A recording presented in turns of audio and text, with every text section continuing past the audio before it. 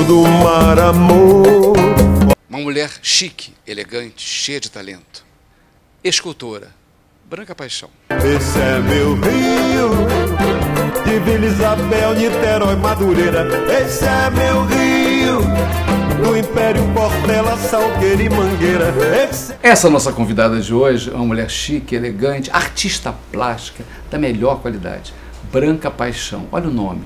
Paixão no nome e branca, porque ela é toda branca. Hoje veio toda rendada, né? É, vim Branca- ver não poderia ser diferente, né? Branca Paixão, seu nome é esse mesmo? Paixão é da mamãe, é sobrenome. E Branca é como meu pai me chamava e eu adotei como nome artístico. Você como artista plástica, começou muito cedo. Eu comecei a pintar, eu tinha 8 anos de idade, com cartolina e tinta guache. Morava no interior, não tinha contato com arte, com, com nada de arte. Mas um dia achei que queria pintar. E minha mãe perguntou, menino, de onde você tirou isso? Aí eu falei, mãe, quero pintar. Aí meu pai foi lá, comprou cartolina e tinta guache, falou, toma minha filha, pinta. Essa família deu força, então. come... deu, deu força. Aí comecei a pintar. É muito difícil e muito competitivo, né? O, o, o mundo das artes plásticas. Te aceitam os teus colegas? Como é que é feito isso? É muito competitivo. É, é, você tem que gostar, você tem que amar. Se você ama o que você faz, eu acho que independente de ser arte plástica, a competitividade fica mais afastada. Você não tem muito problema com isso, não. Eu estou sendo bem sincera, é o que eu sinto. Eu não tenho problema com isso. Eu gosto muito do que eu faço, sou apaixonada. Eu pinto cantando, dançando, pinto nua, pinto vestida. É uma loucura. Eu, eu sempre muito. soube que vocês têm que ter um ateliê fora de casa. Você tem Sim. ateliê ou é dentro de casa? Eu tenho uma, o meu apartamento tem uma área muito grande externa e eu fiz dessa área externa meu ateliê. Só que agora ele ficou pequeno para mim. Eu estou sentindo necessidade de mais espaço. E ele é grande, mas eu estou achando pequeno. Eu estou construindo atualmente um ateliê para mim fora de casa. Agora, você tem uma característica, uma, uma- uma nomenclatura, o seu tipo de pintura ou não? Não, olha, isso eu deixo para os especialistas. Eu não, várias pessoas me perguntam isso. Ah, você pinta o quê? Você pinta naif? Você. Olha, eu deixo isso para quem gosta de opinar, para quem sabe, profissionais. Até acho legal para mim, né?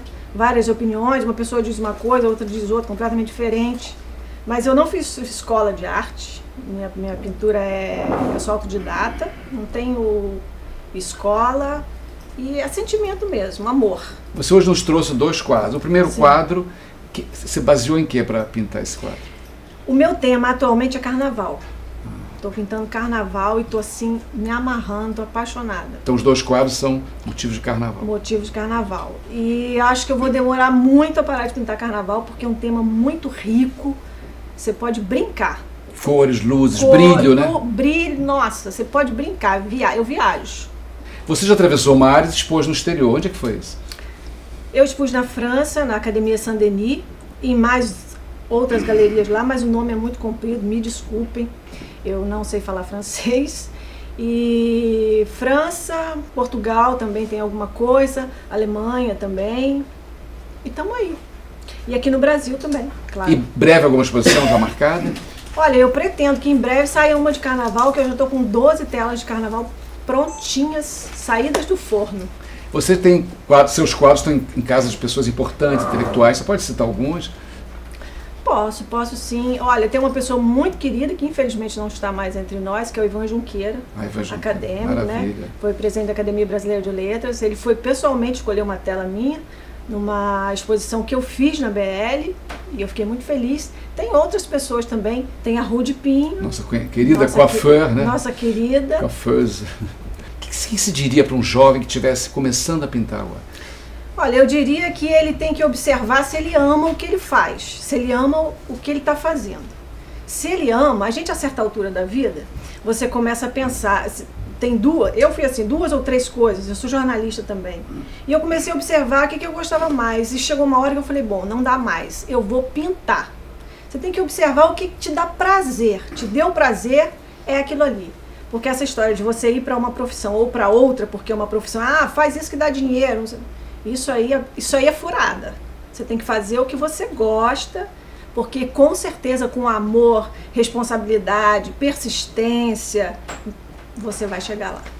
Não tenho dúvida. Nós temos que terminar essa, essa matéria. Você nos traz luz, cor. Obrigada. Você traz uma luminosidade com o seu olhar e sua tranquilidade. Obrigada. Você é realmente gente carioca. Muito obrigado pela presença. Obrigada, tá Fernando. Bom, é isso aí.